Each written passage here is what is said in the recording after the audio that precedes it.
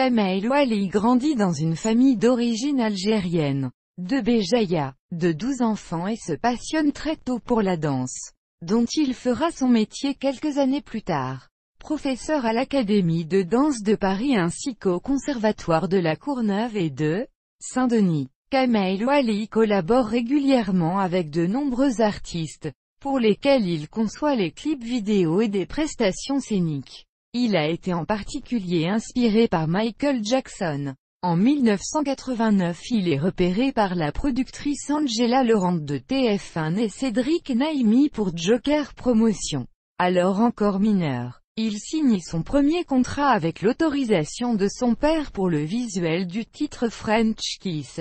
Happy Music, Sony. En 1990 il rejoint le groupe Latino Party puis danse aux côtés de Sylvie Vartan au Palais des Sports de Paris en janvier-février 1991. Il apparaît dans plusieurs clips de musique comme celui de la chanson Sheba du chanteur algérien de Rai Raled, 1993, dans le spectacle d'Eli Kakou au cirque d'hiver. 1997, ou dans le clip de la chanson Zahama Zahama du chanteur algérien de musique Kabil Takfarinas. 1999. Il a chorégraphié les comédies musicales Les Dix Commandements et Autant en emporte le vent.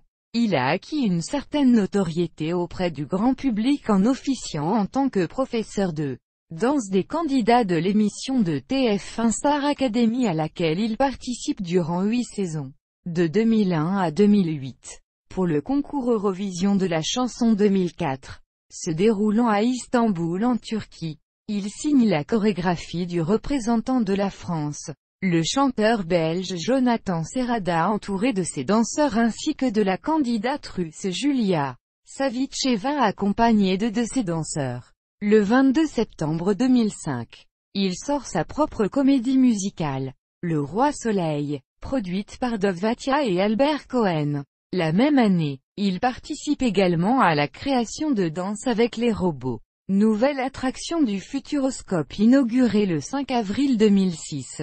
Le 29 janvier 2009, il lance sa quatrième comédie musicale, Cléopâtre, dans laquelle Sophia et Saïdi, demi-finalistes de Star Academy 3, jouent le rôle principal, aux côtés de Christopher Stills, dans le rôle de César, Florian Etienne, Marc-Antoine, Dominique Magloire, Charmion, Mehdi Kerkouche, Ptolémée, et Amélie Piovoso, Octavie. Il chorégraphie également le spectacle événement pastoral au Théâtre du Châtelet.